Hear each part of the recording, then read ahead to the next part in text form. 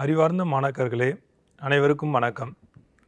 பன்னிரெண்டாம் வகுப்பில் இருக்கக்கூடிய இயல் நான்கில் கல்வி என்னும் பொருண்மையில் அமைந்திருக்கக்கூடிய இடையீடு என்னும் கவிதையைத்தான் நாம் இன்று சிந்திக்க இருக்கிறோம். நம் வாழ்க்கையில் ஆயிரம் இடையீடுகள் வரும். அதையெல்லாம் வெற்றி கொள்ளும்போதுதான் நாம் வாழ்க்கையில் பெருமை அடைவோம் என்பதை மிக அழகாக இந்த கவிஞர் சி. மணி எனக்கூடிய மிக சிறந்த கவிஞர் தம்முடைய கவிதை தொகுப்பில் அழகாக சொல்லியிருக்கிறார். பழனிசாமி என்ற பெயரை கொண்ட இவர் மக்களை எவ்வாறு தன்னம்பிக்கையுடன் வாழ வைக்க வேண்டும்? என்ற எண்ணத்தில் இந்த கவிதையை படைத்திருக்கிறார். எறும்பானது எப்படி செயல்படுகிறது? அது வேகமாக சென்று கொண்டிருக்கும்போது யாராவது கையை வைத்து தடுத்து விட்டால் உடனே அது இன்னும் வேகமாக செல்லும். ஆனால் மனிதன் மட்டும் தோல்வி அடைந்து விடுகிறான். நமக்கு மட்டும் ஏன் இவ்வளவு கஷ்டங்கள் வருகிறது? என்று நினைத்து பார்க்கிறான். அதல்ல வாழ்க்கை. எப்போது இடையீடு வருகிறதோ மேலும் மேலும் அதை கடந்து செல்பவர்கள்தான் வாழ்க்கையில் வெற்றி பெறுகிறார்கள். யாருமே நினைத்தபடி வாழ்ந்து விட்டால் அந்த வாழ்க்கை இனிக்காது. இப்படித்தான் வாழ வேண்டும். என்று நினைத்தாலும் கூட அந்த முயற்சி செய்தாலும் கூட யார் எப்படி வாழ வேண்டும் என்பதற்கான நிலை அவருடைய வினை பயனுக்கேற்ப அமையும். அதற்காக சோர்ந்து விடுவது வாழ்க்கை அல்ல. விதியை மதியால் வெல்லலாம் என்பதை உணர்த்தக்கூடிய ஒரு அருமையான ஒரு கவிதையைத்தான் இன்று நாம் சிந்திக்க இருக்கிறோம். எண்ணமும் வண்ணமும் எவ்வாறு அமைத்து கொள்ள வேண்டும்? எண்ணம் சொல்லாகிறது சொல் செயலாகிறது செயல் பழக்கமாகிறது பழக்கம் வழக்கமாகி விடுகிறது இதுதான் வாழ்க்கையினுடைய செயல்பாடு. இதைத்தான் இந்த கவிதையில் மிக அழகாக பதிவு செய்திருக்கிறார். எண்ணத்தை நாம் வளர்த்து கொண்டால் நம் வாழ்க்கை வண்ணமயமாக மாறிவிடும். அதனால்தான் நல்ல எண்ணங்களை நம் மனதில் பதித்து வைத்து கொள்ள வேண்டும். எதை நாம் உள்ளே வைத்திருக்கிறோமோ அதை வைத்துத்தான் நம்முடைய பெருமை அமையும். ஒரு குப்பை வண்டி வருகிறது என்று சொன்னால் எல்லோரும் உடனே மூக்கை பொத்துக்கொள்கிறோம் அதனால் ஆனால் குப்பை வண்டி நன்மையைத்தான் செய்கிறது. அதை நாம் வணங்கத்தான் வேண்டும். ஆனால் அதை நாம் கேவலமாக பார்க்கிறோம். அதே ஒரு தேர் செல்கிறது என்று சொன்னால் அது உள்ளே இருக்கக்கூடிய கடவுளை நினைத்து நாம் எல்லோரும் வணங்குகிறோம். ஏன் என்று கேட்டால் இதிலிருந்து நாம் என்ன தெரிந்து கொள்ள வேண்டும் என்று சொன்னால் எதை நாம் மனத்தில் வைத்திருக்கிறோமோ அதை வைத்துத்தான் நம்முடைய பெருமை அமையும். அதனால் நல்ல எண்ணங்களை வளர்த்து கொள்ள வேண்டும். இந்த உலகமானது எல்லோருக்கும் படைக்கப்பட்டிருக்கிறது. இதில் வெற்றி பெறுபவர்கள் தங்களுக்கான வளங்களை தாங்களே எடுத்துக்கொள்ளலாம் இதைத்தான் அவங்களுடைய பெருமை இருக்கிறதே தவிர இது அவருக்கு கிடைத்து விட்டது இவருக்கு கிடைத்து விட்டது என்று எண்ணி பொறுமுவதால் ஒரு பயனும் இல்லை. மலரானது நான்கு பக்கங்களில்தான் தன்னுடைய வாசத்தை வீசும். ஆனால் உங்களுடைய பண்பு எட்டாத தூரத்தை எல்லாம் உங்களுடைய நற்பண்போ அது தீய பண்போ. அது எல்லோருடையும் சென்று சேர்ந்து விடுகிறது. எனவே நல்ல எண்ணங்களை பார்க்க வேண்டும் என்பதைத்தான் இந்த கவிதை மிக அழகாக பதிவு செய்திருக்கிறது. நம்முடைய கவிதை எவ்வாறு அமைய வேண்டும் என்பதை நாம் எல்லா நேரங்களிலும் சிந்தித்து பார்த்தால் ஒரு மனிதனை எந்த வகையிலாவது மாற்றம் பெற வைக்க வேண்டும் என்ற நிலையில்தான் கவிதையை படைக்கிறார்கள். கவிதை என்று சொன்னாலே அது என்ன? கவி என்பது மனதை தைக்க வேண்டும். அதில் ஒரு கதை அமைந்திருக்க வேண்டும். க தை. வி தை. விதை அமைந்திருக்க வேண்டும். கவியானது மனதை தைக்க வேண்டும். இப்படிப்பட்ட பெருமையுடையதுதான் சிறந்த கவிதையாக அமையும். எழுத்து இதழில் தமிழில் எழுதிய ஆங்கில பேராசிரியர் மணி அவர்கள் மிக அருமையாக தம்முடைய இலக்கிய படைப்பினை காலம் தவறாது தந்து கொண்டிருப்பவர். ஆயிரத்தி தொள்ளாயிரத்தி ஐம்பத்தி ஒன்பதாம் ஆண்டு முதல் எழுதி கொண்டு வருபவர். நடை என்னும் சிற்றிதழ் நடத்தியவர்.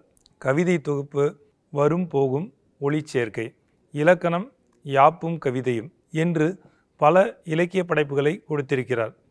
எப்பேராசிரியராக இருப்பினும் தமிழுணர்வு அவர்களிடம் இயல்பாக இருப்பது நாம் காண முடிகிறது. அப்படித்தான் இவர் ஆங்கில பேராசிரியராக இருந்தாலும் மிக அழகாக தமிழ் கவிதைகளை எல்லாம் படைத்து கொடுத்திருக்கிறார். அது மட்டுமல்ல சீன மெய்யியல் நூல் மொழிபெயர்ப்பு தாவோ தே ஜிங் என்பதை படைத்திருக்கிறார். இவர் விளக்கு என்னும் விருதினை பெற்றிருக்கிறார். தஞ்சை பல்கலைக்கழக விருதினை பெற்றிருக்கிறார். ஆசான் கவிதை விருதினை பெற்றிருக்கிறார். கவிஞர் சிற்பி விருதினை பெற்றிருக்கிறார். வே. மாலி செல்வம் எனும் புனைப்பெயரோடு பல படைப்புகளை படைத்திருக்கிறார். கல்வி எத்தகைய பெருமையுடையது என்று சொன்னால் வெந்தனலில் வேகாது கல்வரால் எடுத்துக்கொண்டு போக முடியாது கொடுக்க கொடுக்க வளர்வது. இப்படிப்பட்ட பெருமையுடைய கல்வியை நாம் நாள்தோறும் பயின்று பெருமையடைந்தால் மற்ற குறுக்கீடுகளை எல்லாம் நாம் எளிதில் வென்றுவிடலாம் இந்த இடையூறுகள் எல்லாம் நாம் வென்றுவிட வேண்டும் சொன்னால் நாம் நல்ல கல்வியை பயில வேண்டும். அதுதான் தேடலை விரிவாக்கும். கல் என்று சொன்னால் அகழ்தல் என்று பொருள். ஆழ்ந்து எடுக்கக்கூடிய நமக்குள் என்ன திறமை இருக்கிறதோ அதை ஆழ்ந்து எடுப்பது தான் கல்வியினுடைய மிகப்பெரிய பயன். அது என்றும் அழியாமல் நிற்பது. அதனால்தான் மற்ற விதைகளெல்லாம் வாழிவிடும் ஆனால் கல்வி எனக்கூடிய விதை நாள்தோறும் பயன் தரக்கூடிய கெடாத தன்மையின உடையது. இதை கூட சொல்லும்போது சொல்வார்கள் கற்க கசடர கற்பவை கற்றப்பின் நிற்க அதற்கு தக. இது எப்படி அமைகிறது என்பதை நாம் சிந்தித்து பார்த்தால் தெரியும். கற்க எப்படி கற்க வேண்டுமோ அப்படி கற்க வேண்டும். எப்படி கற்க வேண்டும் என்று கேட்டால் கசடர கற்க வேண்டும். கசடர கற்றால் மட்டும் போதுமா? கற்றபின் கற்க வேண்டும். எப்படி கற்க வேண்டும்? நிற்க கற்க வேண்டும். அதற்கடுத்து அதற்குத்தாக கற்க வேண்டும். எதற்காக நாம் படிக்கிறோம் என்பதன் பயனை தெரிந்து கற்க வேண்டும். ஒவ்வொரு சொல்லுக்கும் ஒவ்வொரு பெருமையுடையது முதலில் கற்க வேண்டும் என்று சொல்கிறார். அதற்கு கற்பவை கற்க வேண்டும் என்று சொல்கிறார். கற்றபின் கற்க வேண்டும் என்று சொல்கிறார். அதற்கு பின் நிற்க அதற்கு தக நிற்க கற்க வேண்டும் என்று சொல்கிறார். அதற்கு தக கற்க வேண்டும் என்று சொல்கிறார். கல்வி என்பது கற்பித்தலில் இருக்கக்கூடிய இடையீடுகளை எல்லாம் வெளிக்கொணர்வது தான் எந்தெந்த இடர்பாடு இருக்கிறது என்பதை நமக்கு நாமே புரிய வைத்த இவற்றிலெல்லாம் எப்படி வெளியேறுவது என்பதை கற்றுக் கொடுக்கிறது. இது கல்வி கற்பதற்கு மட்டுமல்ல வாழ்க்கையில் உள்ள அனைத்து இடையூறுகளையும் எவ்வாறு கடந்து வருவது என்பதைத்தான் இந்த இடத்தில் நாம் சிந்தித்து பார்க்கலாம். இந்த உலகில் திருத்த முடிந்த ஒரே நபர் அது நீங்கள்தான் என்று ஒருவர் எழுதியிருக்கிறார். இதையும் இந்த நேரத்தில் சிந்தித்து பார்க்கலாம். இப்படி கல்வியானது தன்னம்பிக்கையை ஊட்டக்கூடியது என்பதை நாம் சிந்தித்து பார்த்தால் இந்த கவிதையினை நாம் மிகவும் அழகாக புரிந்து கொள்ள முடியும். ஒரே ஆசிரியர் தான் பாடம் நடத்துகிறார். ஒரு மாணவர் தொண்ணூறு மதிப்பெண் எடுக்கிறார். இன்னொரு மாணவர் நாற்பது மதிப்பெண் எடுக்கிறார் என்று சொன்னால் அவர்கள் எப்படி அதை புரிந்து கொள்கிறார்கள் என்பதை பொறுத்துத்தான் அந்த வகுப்பின் பெருமை அமைகிறது.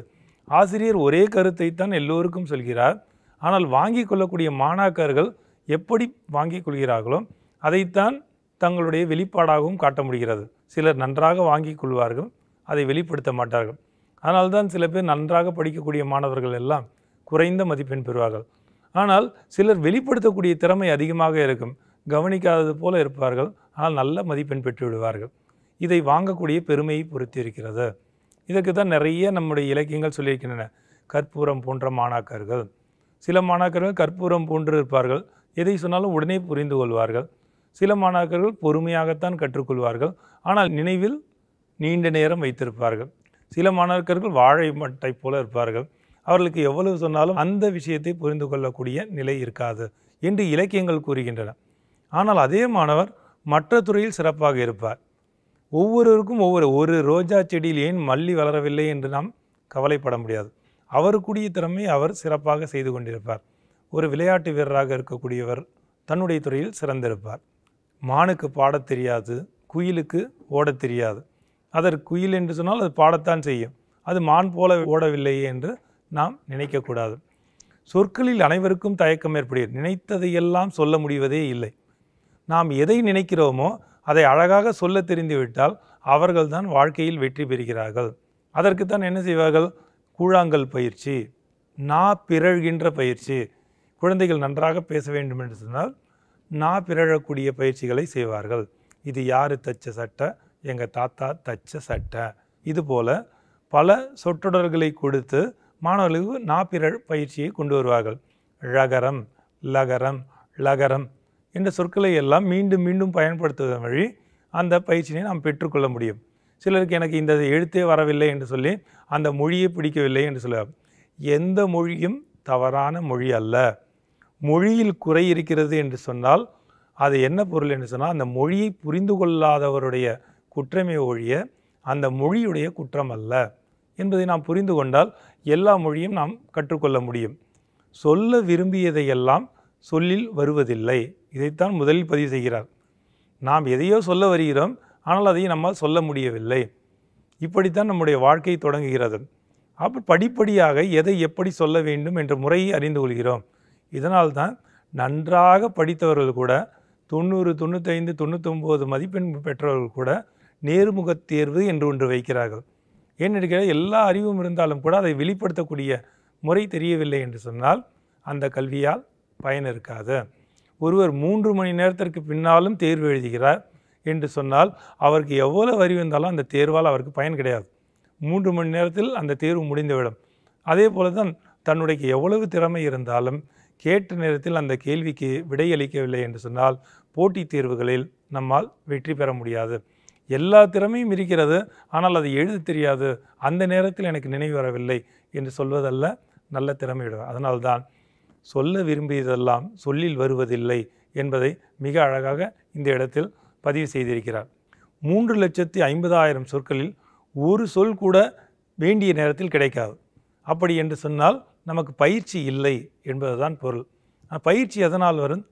முயற்சியால் தான் வரும். நாம் நிறைய சொற்களை படிக்க படிக்க நாம் கவிதை எழுதாமல் இருந்தால் தானே சொற்கள் வந்து என்னை நீ எடுத்துக்கொள் என்னை நீ எடுத்துக்கொள் என்று சொல்லுமாம். கவிதை நம் சொற்களுடைய வளமே இல்லாவிட்டால் நம்மால் கவிதை எழுத முடியாது. அதனால்தான் அதற்கு பழக வேண்டும். இதைத்தான் கவி சக்கரவர்த்தி கம்பன் கூட மிக அழகாக சொல்வார். ஒவ்வொரு சொல்லும் வந்து அவரிடம் கெஞ்சுமாம். என்னை எடுத்துக்கொள் என்று சொல்லி. அப்படிப்பட்ட கவி வளமுடையதால் தான் அவரை கவி சக்கரவர்த்தி என்று குறிப்பிடுகிறோம். மனப்புழுக்கம் கூடாது. எப்பொழுதும் மனமானது மலர் போல மலர்ந்திருக்க வேண்டும் என்பதை இந்த கவிதையில் மிக அழகாக பதிவு செய்திருக்கிறார். இடையீடு என்பது மனம் செய்யக்கூடிய தடைதான். மற்ற தடைகளையெல்லாம் நாம் வென்றுவிட முடியும். உள்ளே இருக்கக்கூடிய தடையை வெல்வதில் தான் மனிதனுடைய பெருமை அடங்கியிருக்கிறது. ஒரு முட்டையானது வெளியிலிருந்து உடைக்கப்பட்டால் அது வீணாகிவிடும். உயிர் ஆக்கம் பெறாது. ஆனால் உள்ளிருந்து உடைந்தால் அது உயிர் ஆக்கம் பெறும். இதுதான் வாழ்க்கையில் நாம் தெரிந்து கொள்ள வேண்டிய மிக முக்கியமான ஒரு உண்மை. இப்படித்தான் நம்முடைய வாழ்க்கையில் எதை உள்ளிருந்து வரக்கூடிய அந்த ஆற்றலை வெளிப்படுத்தக்கூடிய தன்மையைத்தான் இந்த இடையீடு. எல்லோருக்கும் இடையீடு என்பது வரும். அதை வெற்றி கொள்ளும் போது அது பெருமையுடையதாக மாறிவிடுகிறது. கை கால் அடிபட்டாலும் கூட ஆறு மாதத்தில் சரியாகலாம். இல்லை நீண்ட நேரம் கூட ஆகலாம். ஆனால் மனதில் ஒரு அடிபட்டால் அதை உடனடியாக நீக்கிக் கொள்ளக்கூடிய பெருமை இந்த மனதிற்கு உண்டு. யாரோ ஒரு நண்பனுக்கு அடிபட்டு விட்டது என்று தொலைபேசியில் ஒரு செய்தி வருகிறது. உடனே வருத்தப்படுகிறார் மனம் நோகிறார். ஆனால் அடுத்து ஒரு ஐந்து நிமிடத்தில் மீண்டும் தொலைபேசி வருகிறது. அது உங்களுக்கு வர வேண்டிய தொலைபேசி அல்ல வேறொருவருக்கு என்று சொன்னதும் அவருடைய வருத்தம் நீங்கி விடுகிறது. அப்பொழுது மனம் என்பது ஒரு சில நொடிகளில் தன்னை மாற்றிக்கொள்ளக்கூடிய வலிமையினை உடையது என்பதை நாம் சிந்தித்து பார்க்கலாம். எனவே மனதை பக்குவப்படுத்தி கொண்டால் எந்த இடையிடையும் நாம் வென்றுவிட முடியும் என்பதை நாம் உணர்ந்து கொள்ளலாம். எத்தனையோ மாற்றங்கள் மாற்றம் ஒன்றே மாறாது என்பதை நாம் புரிந்து கொண்டால் நம் இடையூறுகள் எல்லாம் தானே நீங்கிவிடும். எனக்கு மட்டும் ஏன் இப்படி வருகிறது என்று நினைப்பதால் தான் எல்லா துன்பமும் இந்த உலகத்தில் விளைகிறது. நாம் ஒன்று செய்ய அது வேறொன்றாக விளையும். அப்படி விளைவதனால் என்ன பயன் என்று நாம் நினைக்கக்கூடாது. அதுவும் பயனுடையதாகத்தான் அமையும். ஏதோ ஒரு விஞ்ஞானி தன்னுடைய ஆய்வகத்தில் பல வகையான பொருள்களை சேர்ந்து ஒரு பொருளை கண்டுபிடிக்க வேண்டும் என்று நினைக்கிறார். ஆனால் அது வேறொரு பொருளாக வந்துவிட்டது. மீண்டும் அது பின்னால் மிக புகழ் பெற்றதாக மிகவும் பலனளிக்கக்கூடியதாக மாறிவிட்டது. அதுதான் நம் வண்டிகளில் பயன்படுத்தக்கூடிய டயர். சக்கரத்தில் பயன்படுத்துவோம் அல்லவா? அது. ஏதோ ஒன்று தயாரிக்க ஏதோ ஒரு வலிமையான பொருளாக மாறிவிட்டது. அதனால் அது இழிவான பொருள் என்று நாம் சொல்ல முடியாது. மரத்திலிருந்து இலை விழுந்தவுடன் ஒரு ஞானிக்கு இந்த வாழ்க்கையின் பெருமை புரிந்து விடுகிறது. வாழ்க்கை என்றால் என்ன என்பதை அறிவதற்காக தான் தவம் செய்கிறார். அப்பொழுது மரத்திலிருந்து ஒரு இலை விழுகிறது. விழுந்தவுடன் இதுதான் வாழ்க்கை என்பதை புரிந்து கொள்கிறார். மரமானது அவ்வளவு பற்றுடன் பற்றி கொண்டிருந்த அந்த இலையானது காலம் முடிந்தவுடன் அந்த இலையை அது விடுத்து விடுகிறது. இதை பறவைகளில் கூட பார்க்கலாம். விலங்குகளில் கூட பார்க்கலாம். ஓரளவுக்கு வளர்ந்து விட்டால் அந்த குட்டியை அதே எட்டி உதைத்து விடும். இது அதனுடைய இயல்பு. இப்படித்தான் வாழ்க்கையில் இருக்கக்கூடிய எல்லா செயல்களுமே. அவ்வளவு பெரிய பலாப்பழம் அவ்வளவு பெரிய மரத்தில் நன்றாக பற்றி கொண்டிருக்கிறது. ஆனால் குறிப்பிட்ட காலம் வந்த பிறகு அதுவே கீழே தள்ளிவிடுகிறது. மாங்காயாக இருந்தாலும் சரி எதாக இருந்தாலும் வாழ்க்கை என்பது அப்படிப்பட்டது தான் என்பதை அந்த ஒரு இலை விழுந்தவுடன் அந்த ஞானியானவர் அந்த முனிவர் தவத்தில் இருக்கக்கூடிய அந்த முனிவரானவர் உணர்ந்து கொள்கிறார். காதற்ற ஊசியும் வாராதுகான் கடை வழிக்கு என்ற ஒற்றை பெரிதான் நம்முடைய பட்டினத்தாருடைய மிகப்பெரிய மாற்றத்திற்கு காரணமாக அமைகிறது. மிகப்பெரிய செல்வந்தர் அவரை கேட்காமல் கப்பல் வணிகமே நடைபெறாது. கப்ப அதற்கெல்லாம் தலைவராக இருந்தவர் நம்முடைய பட்டினத்தார். ஆனால் அவர் இந்த சொல்லை கேட்டவுடன் தன்னுடைய எல்லா சொத்துக்களையும் விட்டுவிட்டு பட்டினத்தராக ஞான வழியில் சென்று விட்டார் குறி தவறிய ஏமாற்றங்கள் நாம் எல்லோரும் ஒ- இலக்கை அடைவதற்காக செல்வோம். அதற்கு என்ன செய்வோம் என்று சொன்னால் ஒரு படகானது எப்படி அடுத்த கரையை சென்று செய்கிறதோ அப்படித்தான் எல்லோருடைய இலக்கும் அடுத்த கரையை சென்று சேர்வதாக அமையும்.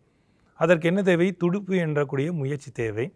அந்த முயற்சியினால் அந்த படகில் சென்று நாம் அடைய வேண்டும். அதற்கு தான் இந்த வாழ்க்கையானது அமைந்திருக்கிறது. அந்த துடுப்பின் பயன் கொண்டு நாம் அடுத்த கரையை அடைய வேண்டும். முயற்சி அந்த படகு தான் தன்னம்பிக்கை. இப்படி இரண்டையும் நாம் தவறாமல் செய்தால் நாம் நினைத்த இலக்கை அடைய முடியும். ஆனால் முதலில் தவறு நிகழலாம். யாருமே மிதுவண்டியை கூட கற்றுக்கொள்ளும் பொழுது யாருமே விழாமல் கற்றுக்கொண்டதில்லை. அப்படித்தான் விழுந்தால் எழ கற்றுக்கொள்ள வேண்டும். எத்தனை முறை வீழ்கிறோம் என்பது பெரிதல்ல. அது வீழ்ந்தபோது எத்தனை முறை எழுகிறோம் என்பதுதான் நம்முடைய பெருமையாக அமையும். இதைத்தான் இந்த கவிதையில் அழகாக பதிவு செய்திருக்கிறார். குதிரை வரைந்தால் கழுதை வரும். நாம் கடினப்பட்டு குதிரை வரைவார்கள் ஆனால் அது கழுதை போல தெரியும். அதற்காக வரைவதையே விட்டுவிடலாமா என்று சொன்னால் அதல்ல வாழ்க்கை. மேலும் மேலும் முயற்சி செய்து நாம் எவ்வாறு வரைய வேண்டும் என்பதை புரிந்து கொள்ள வேண்டும். அதற்கான நேரத்தை நாம் கொடுக்க வேண்டும். அப்படி கொடுத்தால்தான் ஒருவர் கூட ஒரு புத்தக கடைக்கு சென்றார். புத்தக கடையில் ஒரு புத்தகத்துடைய விலை எவ்வளவு என்று கேட்டார்கள். ஒரு பத்து ரூபாய் என்று சொன்னார். உடனே இதை குறைத்து கொடுங்கள் என்று சொன்னார். இல்லை கொடுக்க முடியாது. இதுதான் விலை என்று சொல்லிவிடுவார். உடனே நான் உங்கள் கடை முதலாளியை பார்க்க வேண்டும். என்று சொல்வார் கடை முதலாளி மேலே இருக்கிறார். அவரை சென்று பாருங்கள். என்று சொல்வார் உடனே அந்த நூலை வாங்க வந்தவர் மேலே சென்று அந்த முதலாளியிடம் கேட்கிறார். எவ்வளவு இந்த நூலின் விலை பத்து ரூபாய் என்று இருக்கிறது? எனக்கு ஒன்பது ரூபாய் கொடுங்கள் என்று சொல்கிறார். இல்லை இல்லை இந்த நூலின் விலை பதினோரு ரூபாய் என்று சொல்கிறார். உடனே அவருக்கு வியப்பாக ஆகிவிடுகிறது. ஏன்? இது பத்து ரூபாய் தானே போட்டிருக்கிறது. ஏன் பதினோரு ரூபாய் என்று சொல்கிறீர்கள்? என்று சொன்னால் நீங்கள் கீழே வாங்கியிருந்தால் அதனுடைய விலை பத்து ரூபாய். என்னுடைய நேரத்தையும் நீங்கள் பயன்படுத்தி கொண்டதால் இது பதினோரு ரூபாய் என்று சொன்னார். ஏன் என்று கேட்டால் காலத்தின் மதிப்பு அத்தகையது. நாம் காலத்தை எதற்காக செலவிடுகிறோம் என்பதை பொறுத்து தான் நம்முடைய பெருமை அமையும். அப்படித்தான் இந்த இடையீடு எனக்கூடிய கவிதையில் மிக அழகாக பதிவு செய்ய குதிரை வரைந்தால் கழுதை வரும். அதனால் அதை அப்படியே விட்டுவிடக்கூடாது. மேன்மேலும் முயற்சி செய்ய வேண்டும். எப்படி கால்பந்து ஆட வந்த நம்முடைய மட்டைப்பந்து வீரர் தோனி அவர்கள்.